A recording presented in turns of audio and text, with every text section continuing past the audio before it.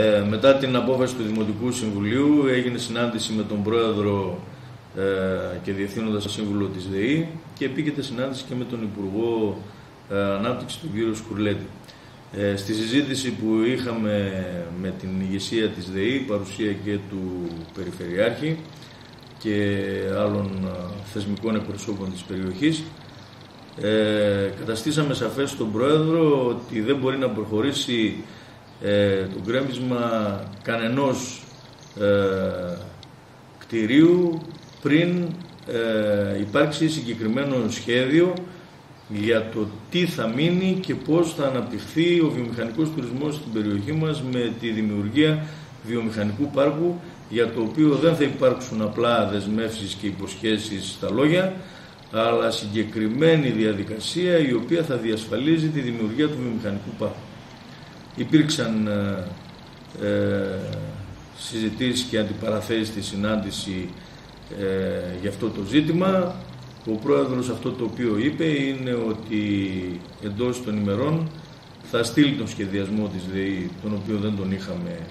ε, υπόψη μας και πιστεύω ότι για ένα τέτοιο μεγάλο ζήτημα που αφορούσε γκρεμίσματα κτηρίων που είναι κατασκευασμένα εδώ και 70 χρόνια ε, στην περιοχή και συνδέθηκαν με την ανάπτυξη της περιοχής ε, δεν θα έπρεπε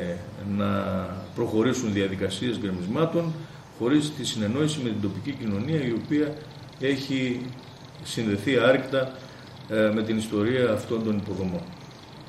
Ε, αυτό το οποίο δεσμεύτηκε ο Πρόεδρος ε, είναι ότι ε, στο επόμενο διάστημα θα έχουμε τον πλήρη σχεδιασμό της ΔΕΗ για να μπούμε σε μια διαδικασία συζήτησης. Εμείς δεν θα αφήσουμε να γκρεμιστεί ούτε το παραμικρό κτηριάκι εάν δεν έχουμε αποφασισμένο και σε εξέλιξη εκκίνησης την διαδικασία της δημιουργίας του βιομηχανικού πάρκου. Ε, φυσικά η ΔΕΗ θα προτιμούσε να προχωρήσει σε όλες αυτές τις διαδικασίες και να γκρεμίσει τα πάντα ε, χωρίς να τηρήσει καν τα προβλεπόμενα, όμως αυτό δεν θα το αφήσουμε και νομίζουμε ότι μπορούμε να το καταφέρουμε γιατί ήδη συνεννοηθήκαμε και με άλλους υπεύθυνους για θέματα βιομηχανικής κληρονομιάς όπως είναι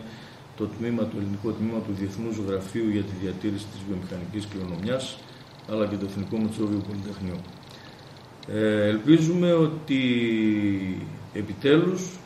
θα μπορέσουμε να σχεδιάσουμε αλλά και να υλοποιήσουμε ε, ένα project το οποίο θα αναπτύξει ε, τον βιομηχανικό τουρισμό αλλά θα διατηρήσει και τη βιομηχανική κληρονομιά γιατί νομίζουμε ότι είναι το συγκριτικό μας πλεονέκτημα. Πώς θα μπορούσαν να συνδυαστούν, επιβάλλεται να συνδυαστούν. Υπάρχει μια ιστορία μεγάλη η οποία ξεκινάει από τις γαλαρίες, τα λαγούμια του καριοχωρίου και θα πρέπει αυτό να συνδυαστεί με όλη τη βιομηχανική ανάπτυξη της περιοχής. Υπάρχουν, ε, υπάρχει η Λιπτόλ που ξεκίνησε με την ε, κατασκευή των ανοιχτών ορυχείων και πριν από τη Λιπτόλ τα κλειστά ορυχεία τα οποία δημιουργήθηκαν από επιχειρηματίες της περιοχής όπως είναι ο Παυλίδης και ο Αδαμόπουλος.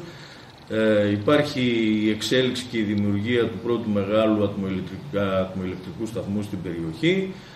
που είναι ο ιστορικότερος ε, νομίζουμε και όλα αυτά θα πρέπει να συνδυαστούν και να αποτελέσουν ένα δίκτυο ε, της ε, βιομηχανικής ανάπτυξης της περιοχής που να αναδεικνύεται ιστορικά και να μπορεί κάποιος ε, επισκέπτης που έχει ενδιαφέρον για αυτό το ζήτημα ε, να το δει. Είναι μια μορφή εναλλακτικού τουρισμού και δεν ε, έχουμε την ψευδέστηση ότι μπορεί να μετεξελιχθεί σε μαζικό τουρισμό για την περιοχή μας. Όμως υπάρχουν και άλλα είδη εναλλακτικού τουρισμού όπως είναι ο αθλητικός τουρισμός ειδικά με το κολυμβητήριό μας που φέρνει έναν αρκετά σημαντικό αριθμό επισκεπτών. Ε, στο επόμενο διάστημα θα, ε, θα αναδείξουμε και άλλα ζητήματα που αφορούν τη μεταλλεκτική περίοδο όπως είναι και το κέντρο μηχανοκίνητου αθλητισμού στην ε, θέση των αποθέσεων όπου υπάρχουν τελικές εκτάσεις ε, και όλα αυτά μαζί πιστεύω ότι μπορεί να συνθέσουν ε, πολλές κατηγορίες εναλλακτικού τουρισμού που θα επιτρέπουν έναν επισκέπτη στην περιοχή για ένα από αυτά τα θέματα να μπορεί να καθίσει δύο-τρεις μέρες παραπάνω για να δει ε, και άλλα ε, δικά μας ιστορικά στοιχεία ε, ή και ανάλογα με το ενδιαφέρον του φυσικές ομορφιές ή αρχαιολογικούς χώρους και έτσι να αυξηθεί η επισκεψιμότητα στην περιοχή μας. Εμείς δεν θέλουμε να γίνουμε τουριστικός προορισμός με μαζικό τουρισμό γιατί αυτό είναι ουτοπικό και το ξέρουμε, όμως μπορεί οι εναλλακτικές μορφές τουρισμού να συμβάλλουν και αυτές στη συνολική ανάπτυξη της περιοχής.